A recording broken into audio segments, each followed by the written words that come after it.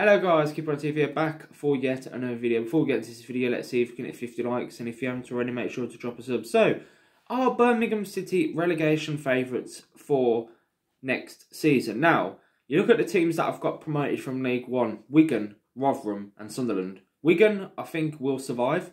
Rotherham, we all know they're getting relegated. They're like the Fulhams and the Norwiches of this world, aren't they? In terms of they get promoted, get relegated, get promoted, get relegated, so on, so on, so on, so on. Um, Sunderland, I think Sunderland will survive as well. So, yeah, um, only one out of the um, three coming up from League One, in my opinion, will get relegated. Look at Reading. They finished 21st, just about survived last season. I think under Paul Ince, a full season with him in charge, I think they'll be comfortably mid table. You look at Hull City, they've had a takeover. I don't think they're going to get relegated. Um, Barnsley, Derby, Peterborough, of course. There was, well, apart from Derby, the other two were pretty awful, to be honest. So, yeah, it begs the question, really, doesn't it? With no points deductions to save us this time, are Birmingham City going to be relegated next season? Now, the takeover, in terms of the takeover, I've heard some, a couple of people in my comment section were saying that if it's Maxi Lopez and Paul Richardson, they're only going to be buying 21% of the football club. They're only going to get a share 21%. Now, if that's the case, that means the Chinese are going to still have full control of the football club. Now, I don't know if that's true or not, but if this is not a full on takeover, that leaves us in the pits of doom because especially with Lee Bowyer. Lee Bowyer in charge.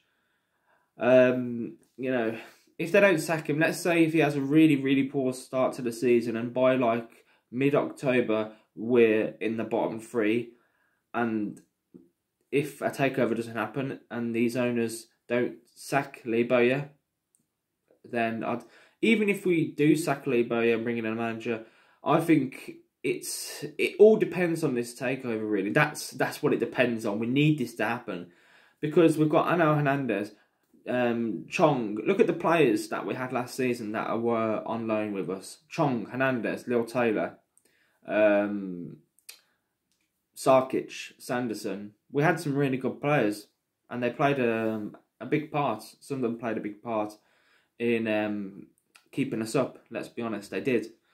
And I look at our squad now that we've got currently. I know the transfer window hasn't opened yet, but um, yeah, that squad doesn't fill me with confidence, not one bit.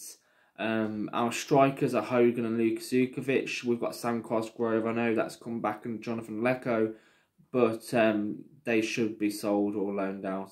I don't really see the point of us loaning out. If we're going to loan out like Leko or Cosgrove, what is the point? We're never going to play them. It was like, it reminds me of Brock Matson. You know, when um, we signed him, Gary Rowett signed him, and he was meant to be this um, superstar, but then it completely flopped. I think it was for like, that was when we didn't have any owners at all, wasn't it? I think it was like what, a two million. We signed him for two million. But yeah, um, let me know in the comments down below. Are Birmingham City relegation favourites for next season? It all depends, like I said, if we can get in some investment or not. Because, um, yeah, I mean, we Oh yeah, let let's not forget we've got Harlee coming back. He will probably be sold. Surely he will be sold. So yeah, um, it all depends.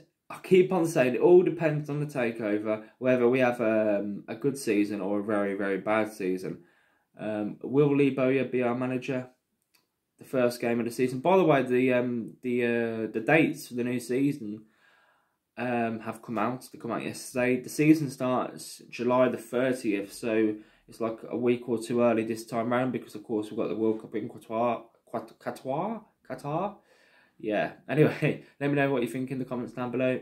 It's been Keeper on TV. Make sure to like, share, and also subscribe to the channel. Thanks for watching, guys. Keep on top.